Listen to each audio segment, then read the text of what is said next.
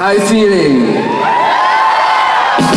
You fucking pretty!